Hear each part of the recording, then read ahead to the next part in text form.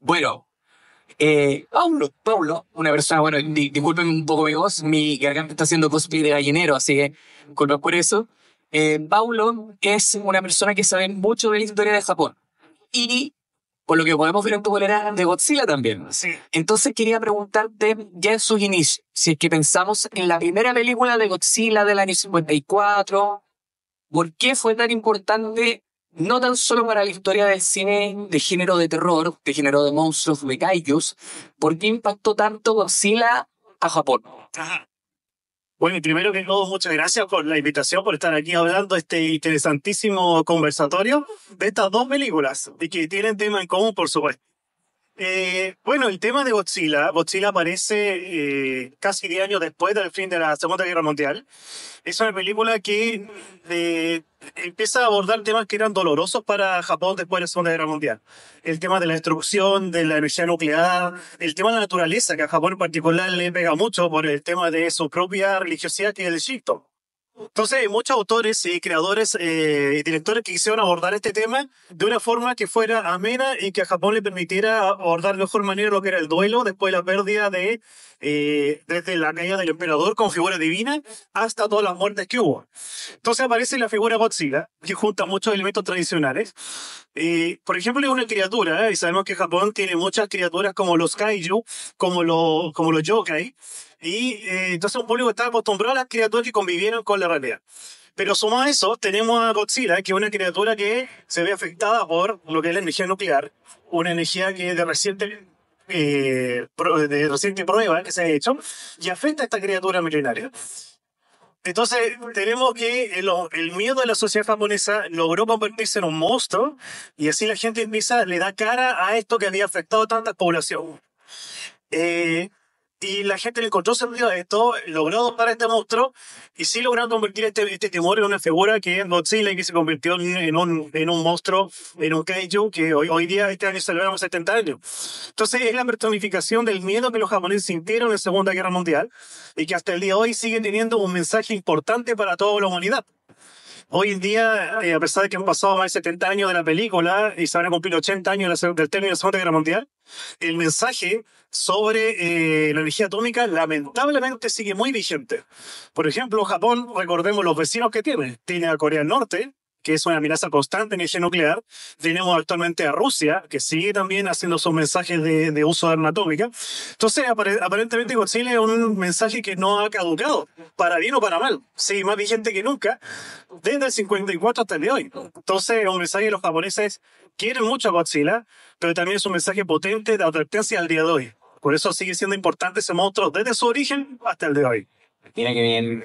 Eh, y no deja de ser interesante la idea que ya sus orígenes Godzilla pasa a ser, como tú bien mencionabas, un símbolo, pero que es un símbolo que de alguna manera, película a película, igual va mutando. Yo quería preguntarte, Diego, dentro de todas las versiones, películas, directores que han tomado a Godzilla como eh, metáfora, a lo largo del mundo, ¿cuáles han sido las versiones que más te han llamado la atención? Porque hay, una, hay unos Godzilla que son muy divertidos, cuando sale el hijo de Godzilla, pero después tiene ejemplos más recientes como Shin Godzilla de Hideaki Anno, que toma mucho de lo que él hizo en la realización de Evangelion y lo lleva a un tono en donde justamente Godzilla eh, va a ser una, una catástrofe que justamente el gobierno de turno empieza a burocratizar mucho y nos afronta de manera directa como lo podría haber sido. Sí, eh, yo quiero, yo quiero hablar de- justamente, eh, me- no me gusta usar la palabra franquicia, Ya. porque siento que es muy fría, es muy así como de negocio. Creo que, creo que lo de Godzilla es más una epopeya, como una, unas- un fenómeno pop que parte, como bien dices tú, como este, este recuerdo doloroso. Ellos se lanzan a hacer una película de guerra, una película de horror que es bastante espantosa, que busca horrorizarte y que viene justamente de este, del dolor del, de, de la guerra, recientemente refrescado por, el, por la, la prueba de la, bom- de la primera bomba de hidrógeno, que volvió a traer consecuencias nefastas para Japón y como que reabrió las heridas y se lanzan a hacer esta película que un poco rompe todos los esquemas, que se transforma en un fenómeno pop. Y que después de eso se, produce el fenómeno bien fascinante porque Godzilla pasa de ser este monstruo espantoso, sinónimo de la destrucción más irrefrenable que te puedas imaginar, a transformarse en un héroe de niños, eh, en un guardián de la tierra, y esto es un siglo que es bastante interesante. O sea, primero es una película de terror, eh, después ya se está enfrentando a otro monstruo, después se enfrenta a King Kong y ya hay chistes, y después ya sale Mi Vida, que es el hijo de Godzilla, y ya son películas para niños, hasta que llega otro director y dice, ya, momento, volvamos al horror de Godzilla, y vuelven a hacer otra película donde Godzilla vuelve a hacer esta fuerza de naturaleza y se da un poco lo mismo. Yo creo que lo estamos viendo ahora, o sea, ahora donde conviven todos estos movimientos, tenemos por una parte Godzilla Minus One, que de nuevo es un recordatorio del horror de Godzilla, pero al mismo tiempo tenemos el Godzilla del Monsterverse, donde está peleando con King Kong, con brazos robots, donde hay un mono chico que lo usan para pegarle a los demás monos, y, y creo que es genial. O sea, podemos disfrutar todas estas iteraciones eh, que, que, me fascina que sigan ocurriendo. O sea, estamos hablando de esto porque cumple 70 años de esta, esta película y nos deja de tener el mismo, la, la misma potencia. Eh, de hecho, hace poco, eh, yo diría que esto, este horror dominó, sin ir más lejos, en los últimos premios Oscar, eh, donde Oppenheimer se ganó eh, muchos premios y Godzilla Minus One también fue reconocida. Eh, y, y, se bromeaba diciendo, oye, es un súper buen programa doble, puedes ver Oppenheimer primero y después ver eh, Godzilla Minus One. Yo voy a ir más allá y voy a decir que puedes ver Oppenheimer y después ver Godzilla 1954, porque tiene un Oppenheimer, esa película, tiene un científico que, ves, que inventa una, una cosa que es tan destructiva que no, no puede con su culpa en, en, esa historia. Entonces, es un gran programa y si me preguntas cuál es mi favorita, sí, favorita de, del corazón, yo creo que es Shin Godzilla. Wow. sí, porque creo que es, la, es una de las películas que decidió retomar como el horror de Godzilla pero le puso la imaginación de alguien que hizo toda su carrera en el, en el anime, que es un terreno muy fértil de imaginación. Entonces Godzilla hace cosas que nunca hemos visto y que genuinamente volvió a horrorizar. Eh, en, lo personal, lo digo, me parece que es una película de terror que de verdad me gustó como el poder destructivo de, de Godzilla que después Minus One igual toma, pero que usa, no combina como con el drama humano de la guerra, que es un poco algo que no está en, en Shin Godzilla, los, personajes humanos de Shin Godzilla importan mucho menos que los personajes humanos de Minus One. Y, pero también está como el, el dolor de la destrucción y, el, y este restreno que me parece muy acertado porque eh, es la primera película japonesa de Godzilla que se estrena en chilenos y chilenas. Y, y, este es un género que se hizo para verse en pantalla grande. o sea, cae de cajón. Si usted se perdió la primera pasada que, que fue creo un estreno chico sobre algunos cines, ahora por favor aproveche y, y láncese. No, y de hecho, sumándome lo que, a lo que aquí menciona Diego, a diferencia de Operación Zombie, que recalco, se estrena este fue el 7 de noviembre, Godzilla Minus One ya está en cines. Se estrenó ayer, cuando todos estábamos celebrando Halloween. Godzilla apareció en las salas de cine y va a estar eh, hasta que, en el fondo, dejen de grabar. Así que traten de verla de fin de semana porque es una película, como tú bien mencionabas, que ayuda mucho que se vaya a ver de manera colectiva, porque no tan solo es una película muy entretenida de ver, sino que la manera que colectivamente se hizo, con relativamente poco dinero, no deja de ser interesante. Eh, Takashi Yamasaki, si no me falla la memoria, que es el director de esta película, no tan solo es el director y guionista de Godzilla Minus One, sino que también él es justamente la persona encargada de efectos especiales.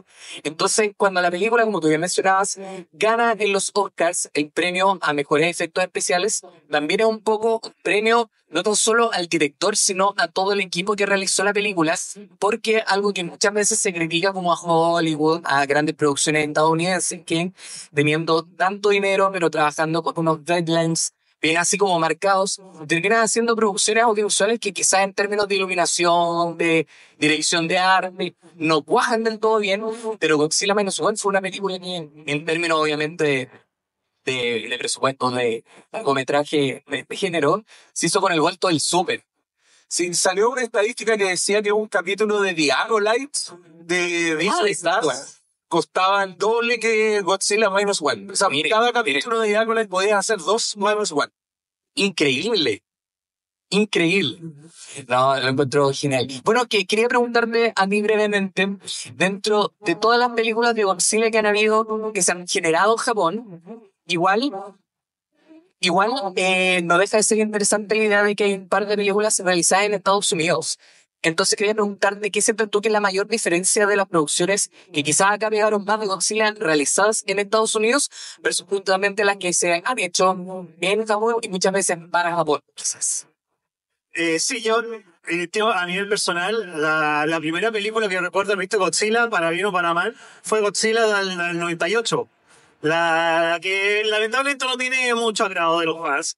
A mí lo personal me gusta bastante, porque Godzilla estuvo muy cerca de lo que era Jurassic Park 2. En esa entonces, 97-98. A mí me gustó, le, agarré cariño. Pero yo sé que al fandom de Godzilla no le gustó. De hecho, fue bueno, rebautizado ese Godzilla como Sila dentro de la franquicia y el mismo Godzilla lo destruyó después. Eh, se lo tomó como otra criatura. A ver, yo le tengo mucho cariño a esa, me, me gusta bastante. Pero bueno, y la última que fui a ver, no he visto toda, es esta, la, esta Godzilla, el Rey de los Monstruos, King of Kong vs. Godzilla. Pero el enfoque, como tú dices, es muy diferente. El Godzilla del Monsterverse es muy diferente del japonés. De hecho, ayer mismo aquí en Japonita estuvimos viendo la, hicimos una comparativa. Vimos la que salió, el paralelismo entre Shin Godzilla y la que salió en ese mismo año, que es Godzilla vs. Kong, 2016, si no mal recuerdo. Eh, creo que fue el Los Monsters. Sí, creo que sí se llama. Es- Y claro, ahí tenemos dos Godzilla con un discurso muy diferente. Mientras que Shin Godzilla sigue apelando al tema de el maloso energía nuclear y que más encima había pasado lo del terremoto de Tohoku 2011, que es un discurso bien fuerte lo que hace la energía nuclear. El Godzilla el Monsterverse es más una especie de antihéroe justiciero como de medioambientalista. Como da la advertencia que el ser humano no tiene que jugar mucho con la naturaleza, eh, que es que la naturaleza se puede mover en contra, etc. Es más amigable, por supuesto, el Godzilla del Monsterverse. Pero el, el que hace la crítica incómoda es el Godzilla japonés. Entonces, ah, para mí me gusta, me gusta más el japonés, justamente. Es más duro, es más crudo, pero es un contenido mucho más profundo que lo critica como especie. Eh, por eso yo, yo prefiero ese. Y, y Shin Godzilla, de hecho, me parece aterrador por eso mismo. Porque el, el, el Godzilla que vemos ahí ya es, pasa a ser un arma biológica casi al final. Y eso es un terror enorme porque se nos está diciendo que nosotros estamos creando la misma armamento para que nosotros nos autodestruyamos. En cambio, el Godzilla estadounidense, no, es una advertencia de cuidado con la naturaleza, no pueden con ella, que tarde o temprano se les va a volver encima. Pero otro es más aterrador porque el mismo es una creación misma del ser humano que se está uniendo contra nosotros. Entonces, yo creo que esas son las, las vertientes de estos dos Godzilla. Una es más a favor de la naturaleza y la otra es más advertencia para nosotros como la humanidad. Mira, qué bien, qué bien. Quería hacerle una pregunta muy breve, quizás para ir ya acauchando, por así decirlo, lo que ha sido en la conversación en torno a Operación Zombie y Godzilla Minus One. Eh, y preguntarle a ambos por qué es importante ir a ver cine de género justamente al cine. No quedarse necesariamente en la casa y aprovechar estas películas autorales que están llegando a las salas chilenas. Eh, creo que mm, tiene que ver un poco con, con resistir, porque siempre está el peligro de que la cartelera solo la domine el blockbuster gringo que tiene por contrato prioridad con la multisala y ahí arriesgamos ver siempre el mismo tipo de película, etcétera. Entonces, por una parte yo creo que es importante apoyar yendo a ver las películas que son distintas, ¿cachai? Y en este caso son películas buenas, entonces lo digo con confianza, no es solo, oiga, vaya a apoyar por apoyar, ¿cachai? No, aproveche, porque son películas que en la casa, que usted tenga la tele gigante, el sistema de sonido, es distinto. Es distinto. Con el, con el cine no, no se compite. Y creo que yo también tuve que pasar harto tiempo para ver una película de Godzilla japonesa y de calidad en pantalla grande, así, y quiero que siga pasando. Porque, por ejemplo, ya anunciaron que va a haber una nueva película de Godzilla. Lo, Toho cuida harto Godzilla. Entonces, cuando da luz verde para una nueva película es importante porque hay o alguna propuesta o buen cineasta. En este caso va a repetir el plato, el director de Godzilla Minus One, y, y queremos que llegue. Entonces, mejor, mejor eso que verla en el streaming. Muy bien. Ese es mi concepto. ¿Y tú, Paulo? Sí, comparto todo lo que dice aquí el, el colega. Eh, bueno, para todas estas grandes producciones, especialmente si son japonesas que me llegan muchas ganas gigantes, es importantísimo ir al cine a verla, porque la recaudación ayuda mucho a este cine a llegar acá también. Se demuestra el interés de la gente por este cine japonés, eh, que incentiva la producción de, de, de estas grandes películas, que con un contenido, como se ha dicho acá, muy profundo, de mucha crítica social y de y mucha crítica a lo que pasa actualmente en el mundo. Así que bueno ir apoyar el cine. Además, la experiencia de ver una película en cine es muy distinta a verla en la casa. Por muy buen equipo de sonido que uno tenga, una buena pantalla, ir al cine, socializarla, estar ahí, escucharlo con una pantalla enorme, es muy diferente. Así que muy recomendable seguir yendo al cine. Eh, Además, hace unos años se decía que la experiencia del cine podía acabarse con el auge del streaming. Afortunadamente no se ha acabado. Y bueno que sigue, sigue manteniendo, porque es una experiencia muy diferente que hacer en la casa. Así que es el incentivo que se vayan a ver estas películas de cine, apoyar a estas productoras, especialmente las productoras más pequeñas. Esto no es Hollywood. Así que, bien, vayan a ver el cine y apoyar el cine de calidad, como se hablaba. Así es. Y además, hablando del concepto de incentivos, un incentivo que está haciendo Cinetopia para quienes van a ver Godzilla Minus One al cine y que no tan solo eh, ustedes van a recibir como la boleta impresa tradicional cuando compran la entrada al cine, sino que se van a llevar un ticket de cantón conmemorativo de Godzilla Minus One con el rostro de su caballo favorito para que lo guarden en la billetera, lo pongan en una foto al lado de, de, no sé, alguien de Luna, por ejemplo, de las Artemis yo creo que eso le va a gustar mucho al público aquí presente. Así que nuevamente recalcar que este 7 de noviembre Cinetopia trae a Chile Operación Zombie, una película de zombies tailandesa que promete mucho que pueden encontrarse con los zombies ahí en el fondo. Y además ya se encuentra en cines Sila Menos One y por favor vayan a verla. Es una película en verdad monstruosa, un monstruo de película. Así que eh, no puedo despedirme sin antes agradecerle a Pablo, agradecerle a Diego y de paso mi mención en sus redes sociales para quienes no los conocen y les quieran seguir. Pablo. Ah, muchas gracias. Bueno, nosotros, yo vengo acá de parte de Fundación Japonista Chile. Nosotros difundimos, divulgamos cultura japonesa todas las semanas. Así que el que quiera saber de esto, de estreno, cultura pop o cultura general, nos puede seguir en Instagram, arroba japonista. Estamos en YouTube, estamos en LinkedIn, en Facebook e Instagram, que es nuestra principal sitio web. Muy bien, muy bien. En LinkedIn, ese nivel, muy bien.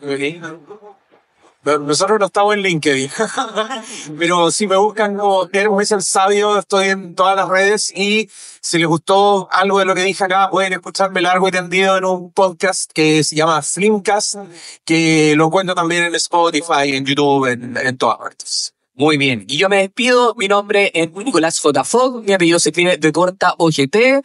Suena un poco mal, pero así toca pronunciarlo. Eh, eso, nada que decirles. Me despido, espero que lo hayan pasado muy bien. Sigan disfrutando de la Comic y recuerden visitar el stand de Cine Autobia aquí derechito al fondo. Que estén muy bien, nos vemos. Muchas gracias. Muchas gracias.